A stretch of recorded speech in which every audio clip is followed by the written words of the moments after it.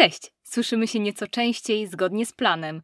Jeśli jeszcze się nie znamy, nazywam się Joanna Hoffman, a to jest podcast Freakery, gdzie rozmawiamy o historii mody i nie tylko. Spragnionych obrazów, kolorów i masy modowych zdjęć zachęcam do odwiedzenia mojego kanału na YouTubie. Jak zawsze chciałabym podziękować gronu moich wspaniałych patronek za wsparcie, a tym samym zapowiedzieć niniejszy odcinek, który idealnie wpisuje się w moją chęć szybszego reagowania na niektóre kwestie właśnie formą podcastową. 8 września 2022 roku, po 70 latach panowania, zmarła królowa Elżbieta II. Jak zawsze w takich momentach za gardła biorą się dwa wilki. Z jednej strony dokładne i czułe podsumowania jej panowania a z drugiej strony interesująca dyskusja dotycząca świata zmieniającego się jak w kalejdoskopie za czasów jej panowania, sensu pokrytej kurzem instytucji monarchii, czy przymykania oczu na niesprawiedliwość imperialnego mocarstwa, którego dla wielu była symbolem. Ale My nie o tym. Wszak Frickery traktuje o modzie i właśnie o jej ujęciu w odniesieniu do Elżbiety II dziś porozmawiamy. W telegraficznym skrócie. Jeśli chcecie dowiedzieć się, co z Elżbietą II mają wspólnego Por i Gucci, o tym już za chwilę.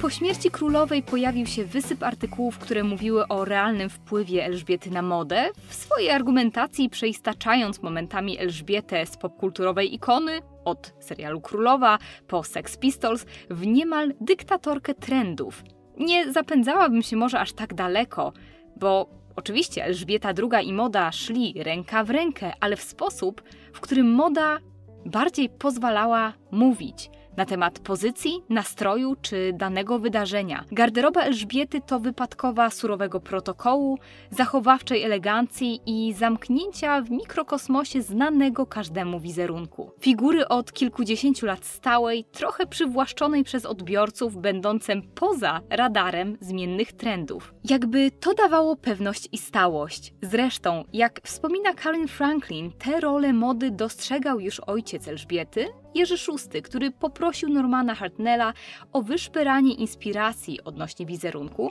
w wiktoriańskiej sztuce. To tak w kontraście do swojego kochającego modę brata Gagatka, Edwarda VIII, który abdykował i cieszył się postępową modą wraz z Wallis Simpson. Elegancki ubiór dobrany idealnie do okazji, takim kluczem na początku możemy otwierać modową spuściznę Elżbiety. Druga wojna światowa skończyła się dwa lata przed tym, jak Elżbieta wyszła za mąż za Filipa. Ówczesna księżniczka wykorzystała racje ubraniowe, nawiasem, bo racjonowanie dotyczyło również rodziny królewskiej, które zaoszczędziła na zakup tiulu, szyfonu i jedwabiu do swojej królewskiej, nomen omen, sukni ślubnej wysadzanej perłami, zaprojektowanej przez Normana Hartnella. O nim już słyszeliśmy. Księżniczka otrzymała również hojnie 200 dodatkowych racji, a sami Brytyjczycy wysyłali księżniczce, co wzruszające, swoje. Powojenne zaklinanie rzeczywistości pięknem migoczącego wydarzenia było bardzo mocno widoczne. Ale kiedy Elżbieta przejmowała tron po swoim ojcu w roku 1952,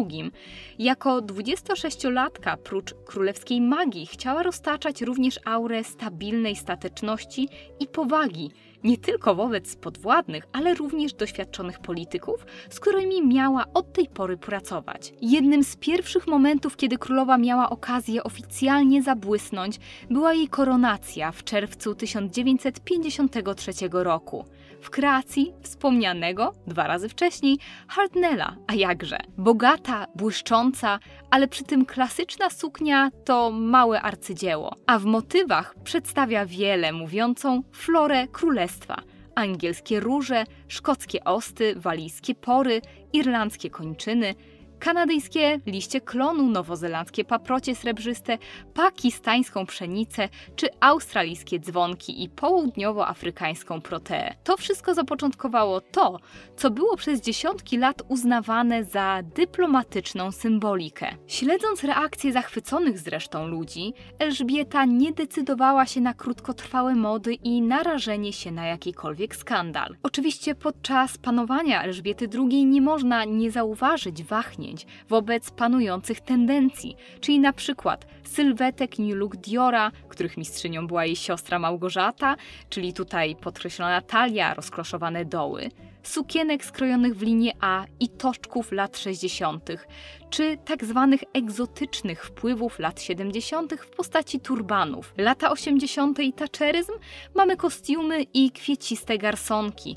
Oczywiście później nastała era kapeluszy i kostiumów dobranych pod kolor. O tym zresztą chyba ostatnio mówi się najczęściej, że królowa miała być widoczna w tłumie mimo swego drobnego wzrostu, ledwie ponad 1,60 m. Ale cóż, monarchini tak czy siak byłaby przecież w tłumie widoczna, ale przy tak wyrazistym wizerunku nie trzeba też kombinować z krojem, prawda? Sophie, księżna Wessex, wspomina o jeszcze jednej ważnej kwestii. Patrząc na tłumy otaczające królową, więcej osób może powiedzieć tak, widziałem ją. Patrząc na poruszający się między ludźmi kolorowy kapelusik o określonej szerokości ronda. Ciekawy jest też rozdźwięk pomiędzy jej garderobą oficjalną, i kolorami, a tym, co wybierała prywatnie, zanurzając się w beżach, chustkach na głowę, gumowcach i pikowanych kurtkach. Wtedy jakby nieco znikała, mając na sobie kwintesencję angielskiej odzieży rekreacyjnej, kalosze, pikowaną odzież wierzchnią, chusty na głowę, kraty, wełnę. Ten kontrast według mnie idealnie podkreśla celowość jej ubioru, tego formalnego. Mam na myśli to, że używała garderoby, której nie można mieć nic do zarzucenia jako komunikatu zaufania. Całość garderoby ze zmianami na przestrzeni dekad była rozgrywana idealnie, powoli, bez pospiesznych ruchów, bo jej wizerunek przestał być tylko jej własnością.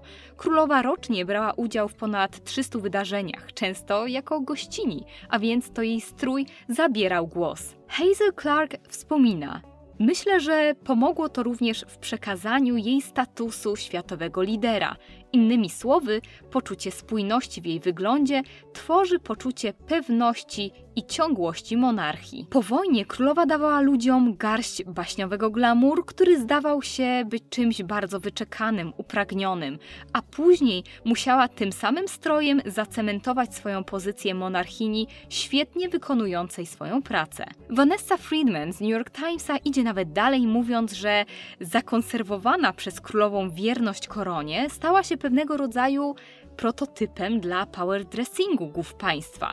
Cóż, przecież królowa sama powiedziała: Muszę być widoczna, żeby mi wierzono. Zespół Angeli Kelly, osobistej asystentki, doradczyni, kuratorki jej królewskiej mości oraz londyńskiego projektanta Stuarta Parvina owocował wyjątkową spójnością i odświeżeniem wizerunku królowej, skłonieniem się ku kolorom i skróceniem spódnic, bo Kelly uważała, że Elżbieta miała genialne nogi. I tę spójność warto podkreślać, szczególnie w czasach hiperzmienności i szybkości mediów.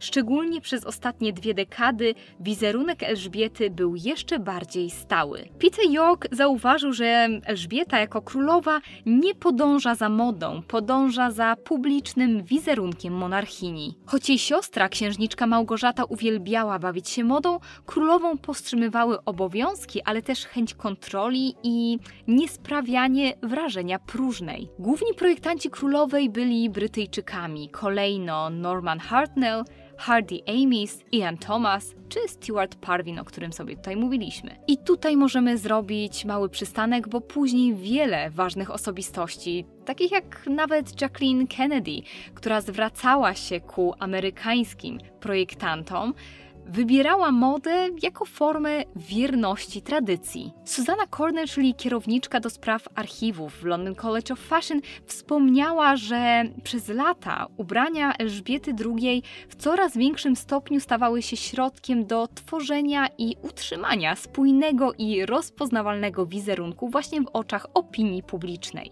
A wizerunek był nieskazitelny. Tkaniny były przetestowywane pod kątem szeleszczenia, zagniecenia były dociążone na dole, aby zapobiec psotnym podmuchom wiatru. W strategicznych momentach pojawiały się subtelne nadruki, aby zapobiec pojawianiu się zabrudzeń, a nawet były umieszczane zdejmowalne podkładki pod pachami, aby ukryć pot. W przypadku podróży zagranicznych stroje były zaprojektowane tak, aby subtelnie uzupełniały zwyczaje i kulturę kraju gospodarza. Dla przykładu królowa założyła zielono-białą suknię z motywem liści klonu na uroczystą kolację w Ottawie w 1957 roku. Białą sukienkę ozdobioną pomarańczowymi makami kalifornijskimi na hollywoodzką kolację z Reganami w roku 1983 a różową sukienkę wyszywaną motywem piwoni, czyli narodowym kwiatem Chin, w roku 86.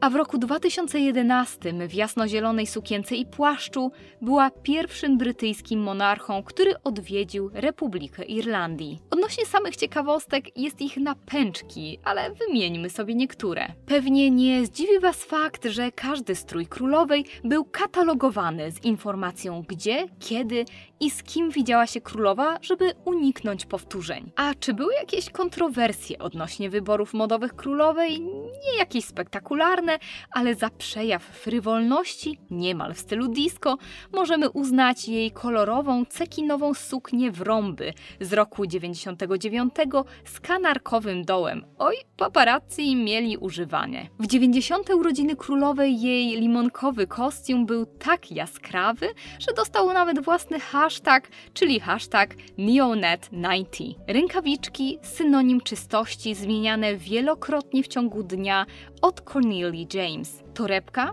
Niewielka, niezbyt rzucająca się w oczy od Lunera.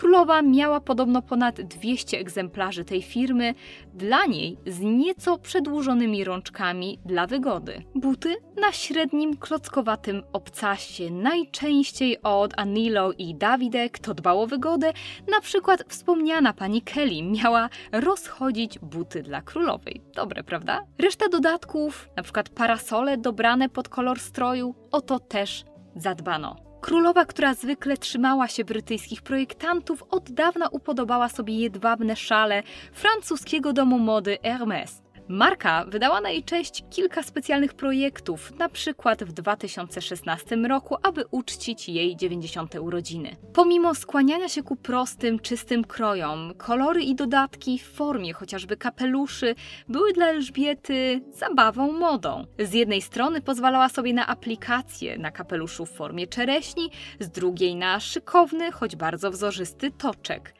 mówiła biżuterią, ale o tym na pewno dowiecie się u Kasi Depy z biżuteryjnych historii. A sam styl Wiele artykułów rysuje linię podobieństwa pomiędzy podejściem do mody Elżbiety, a podejściem, które widziała u swojej matki, królowej matki.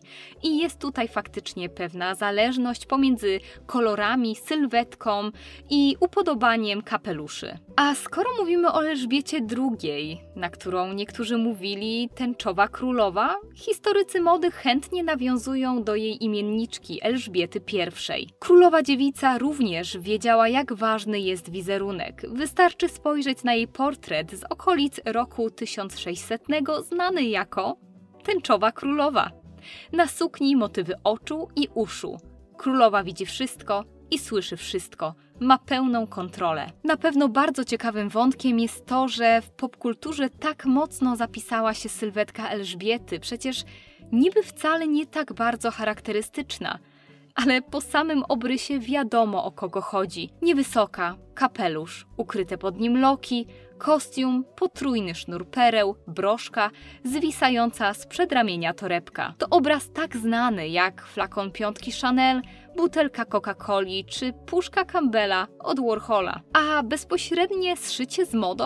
Kilka lat temu zaczęto przyznawać nagrodę królowej Elżbiety dla brytyjskich projektantów, a w 2018 roku królowa po raz pierwszy pojawiła się na londyńskim Fashion Weeku, siedząc obok Anny Wintour. Królowa była częścią mody, a zarazem była trochę obok. A rok wcześniej pokaz wiosna-lato 2017 Gucci w opactwie westminsterskim, gdzie prezentowane sylwetki miały zdecydowanie wiele wspólnego z królową. Warto to zobaczyć. Jeśli chodzi o konkretne, najlepsze momenty garderoby Elżbiety, tu pozwólcie, że nie wzniosę się na wyżyny zdolności opowiadania o stroju, choć to kuszące, i zachęcam, abyście sobie to wszystko obejrzeli w filmie Hamisha Bowlesa, który omawia królewską garderobę. Elżbieta II niby istniała poza modą, zamknięta w królewskiej bańce, ale trzymała rękę na pulsie, przekładając wywoływanie uczucia spokojnej stabilności i pewności siebie na konkretne wybory. To była część jej broni dyplomatycznej. Przez ostatnie 70 lat garderoba królowej Elżbiety dotyczyła nie mody, ale sposobu ubioru, jak podają niektóre artykuły. Swoje ubranie traktowała jako narzędzie pracy stosowne, wygodne, widoczne, przyzwoite i niezmienne. Ale czy to właśnie nie jest moda? Po prostu w wygodnej i dogodnej, a może oczekiwanej od królowej formie? To cóż, Wygląda na to, że to tyle w tym odcinku podcastu Freakery. Miło było podjąć Was wirtualną herbatą. Jak zawsze jestem ciekawa Waszych opinii. Miejcie się wspaniale i do usłyszenia lub zobaczenia w kolejnym odcinku.